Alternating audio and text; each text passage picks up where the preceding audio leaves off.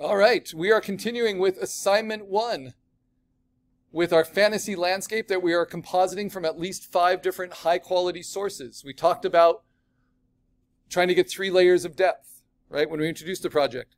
So we post our sketch. This is my sketch. I've posted it. It's required. It's a personal vision of what you want from your fantasy landscape, but it can be inspired by things. Mine is inspired by this children's book, the Professor Wormbog children's book. And so there's certain elements. There's like funky trees and bushes and vegetation and weird lopsided hills. And this is going to get me started. Not because I'm necessarily going to find all of these exact things to composite with, but because I know what to look for. So what do I do? Looking in the assignment, I want to find high quality resolution reference images. I can use large images in Google Images, but that's not going to be nearly as good as this site. This is for raster searching. This is Pixabay. I'm going to turn off my account for a second. I'm going to log out of my Pixabay account so, so it looks like what it looks like when you just start Pixabay. You can always just type in Pixabay or you can use the link in the assignment. It's also in our course outline. So it looks like this. You do not need to join or log in to use it, but in order to get the highest resolution downloads, you do need to join. And all it takes to join, it's like setting up any free account, is an email address. What I'm going to do is start searching. What do I want for this? I want a really funky tree. And I can try typing in funky tree and then hitting return. Now, there are over 249,000 free images of funky trees. Not only are these free images, but these are actually royalty free images. They are basically a Creative Commons open license. But because I'm not logged in and and because Pixabay makes money being a free resource, I have to skip this first row. This first row is what are called stock images. Those of you in marketing know what this is. These are generic images that you can buy for use, right? What Pixabay is trying to be is a free source of images you can use for any purpose without royalty or copyright restrictions, but these images are donated by their creators. So you scroll past the stock photos, otherwise you're going to get lots of things with watermarks or lots of things you have to pay for to be high enough quality. Scroll past that first row, all those 24 or 240,000 images are all here in lots and lots of pages, right? So there's 2,494 pages of this content. So clearly I need to, to narrow this down. So instead of funky tree, I'm also going to add bark, any tags I can think of, bulbous, and then let's see what I get. This is looking a little bit better. But I only want photos. So instead of all images, I just want photographs. I'm not going to limit it for color or for size. Oh, that's a beautiful funky tree. So when I see one I like, I'm going to right click just like we do with a Google image search.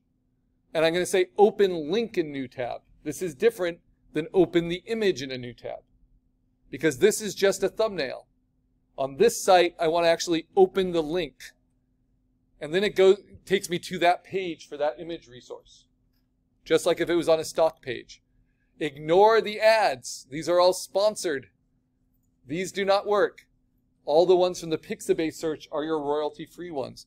And when I want to download it, I click download and if I try to pick the largest quality, which is almost 6,000 by 4,000 pixels, huge, big enough for a wall mural, uh, and I hit download, it's going to make me create an account.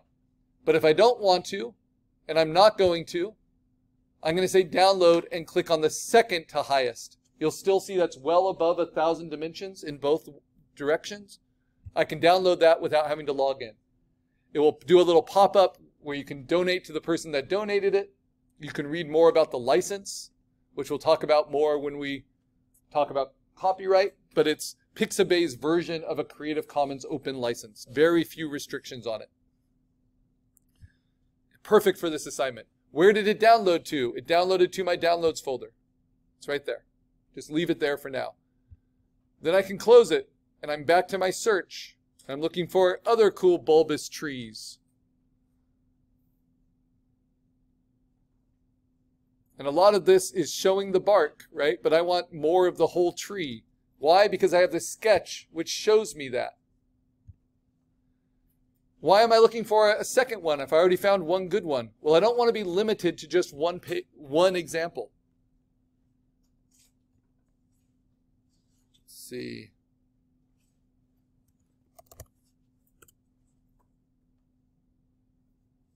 There are just a ton of nature photographs. So there's that one cool olive tree. Ah, but look at these roots. That's that's perfect. It's a different species of tree, right? So I open that in a new tab, and I'm going to open, going to download the second to the biggest if I don't want to have to log in. I do have an account, and if you create an account, I just use my Gmail address, and then you donate 10 or more images, and they get accepted, which I do. I always donate whatever I create for, as a demo for this project. Um, then you get to explore the site without seeing any ads at all, which is always nice. Okay. You never have to donate. I think I've made 40 cents, you know, in 15 years through people donating. So one you can donate one image, you can donate two images. Once you donate 10 or more, then your ads disappear. Yeah. It's a good resource. And there are other Creative Commons open sites like this, but Pixabay is, is one of the biggest. So it's, it's useful. There are even vectors on here, and they make a distinction between AI generated art and non.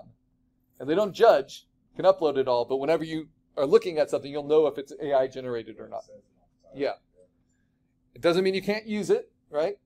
Because that's different than prompting making our own AI generated stuff, which you can't get at high enough resolution without paying for anyway. So if you find something you like that's AI generated and it's good pixel quality, it, just treat it like another resource that you're finding online for this project. That's not breaking our AI policy. Uh, so if it got misplaced, what you do is, do you have any folder in your dock at all? Do you have documents? So go ahead and open your documents in your Finder. You'll see your downloads in this sidebar.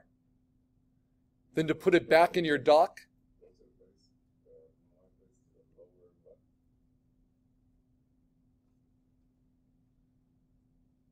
and I can help you with that.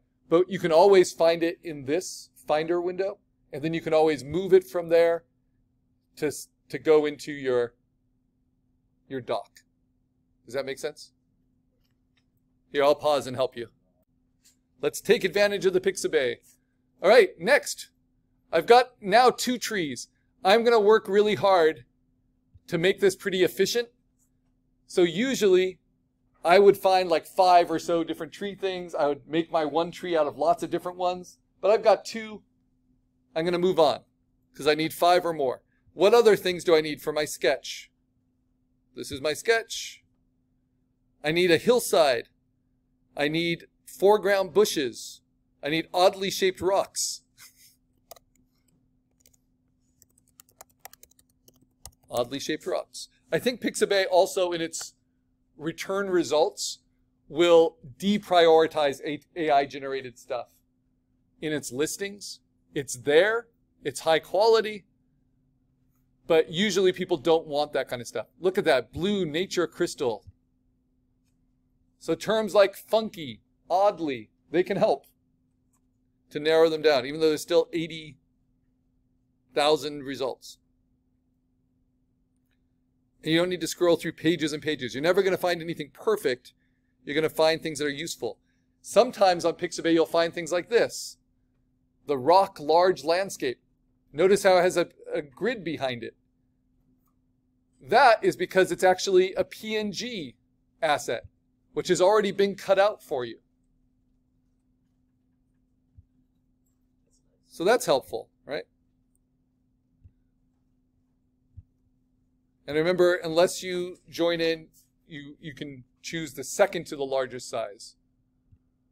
Do not choose a smaller size and then this is kind of what I was thinking of, these kind of background rocks. Actually, these are even, uh, are they better? Yeah, I'll use these. I can change the color, I can change the lighting. Someone did a lot of nice compositing help by putting these, these like islands and these rock elements. Remember to open the link in the new tab.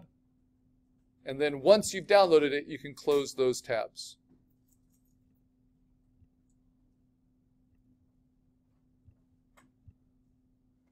Now, because I'm going to be showing it in Photopea, I'm also going to try to be very efficient in my use of processing and memory because I don't want the, the program to, to glitch and have to work harder than it needs to. And we're still trying to make something that's print quality. So it needs to be at least 8 by 10 by at least 300 pixels per inch. But I don't need to go through all 800 pages. But I like these crystals. And sometimes you'll find elements that a lot of students end up using. And if they don't transform them enough, they become recognizable. But remember to scroll past the ad bar. There's one at the top, there's one at the very bottom. Why is this giving me trouble? There we go. This is the free stuff. This is not stuff to use. They try to sell Canva to you. They try to do all kinds of things to make money. You just want these beautifully donated images. When you donate an image, you don't get any money for it. You only get money if people want to donate to you, but you've already released all of your rights to the image. So that's just a courtesy. So people can use these images for whatever they want. And they don't need to give any attribution to you whatsoever. That's because this is Creative Commons open. And we'll learn those distinctions.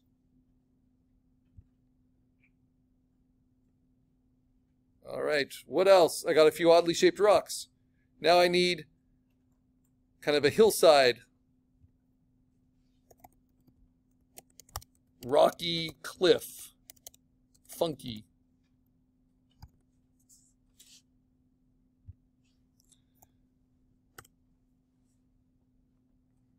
Remember, skip this row?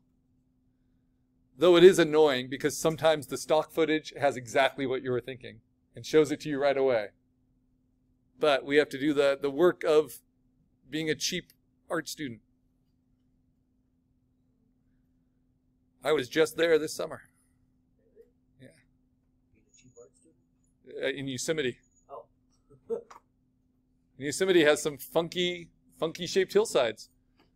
So maybe I want to use something like that. Or I could use my own photographs, right? This is Yosemite as well. Yosemite's great. Yeah, I hadn't been since I was a middle schooler.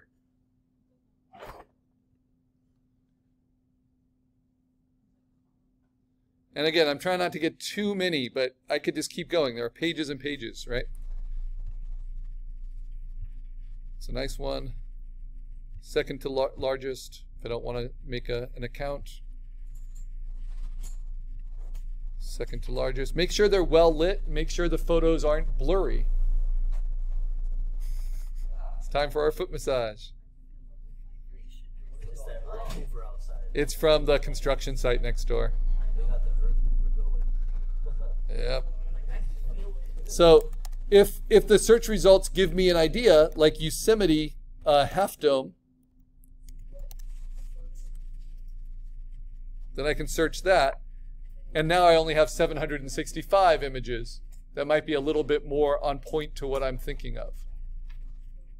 I know exactly where that photo was taken. That's cool.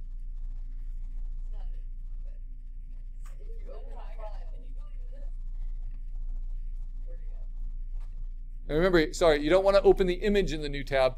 You want to open the link because it's actually going to take you to the same place. Because you have to download it from the image page, not from the search page.